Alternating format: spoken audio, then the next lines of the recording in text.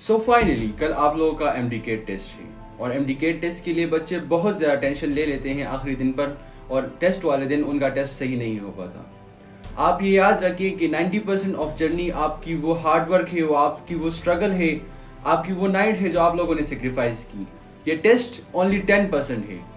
अपने हार्डवर्क पर ट्रस्ट करें, अल्लाह पर ट्रस्ट करें, और जब एग्जामिनेशन हाल के लिए जाए तो आप ये सोचें कि ऑलरेडी मैं सेलेक्टेड हूँ, क्योंकि मैंने अपना बेस्ट दिया, मैंने अपनी नाइट सेक्रीफाइस की, मैंने अपनी नींद सेक्रीफाइस की, मैंने अब बहुत ही हार्ड वर्क किया। जिस वक्त में लोग कह रहे होते हैं, उस वक्त को मैंने अपनी किताबों के साथ गुजार दिया।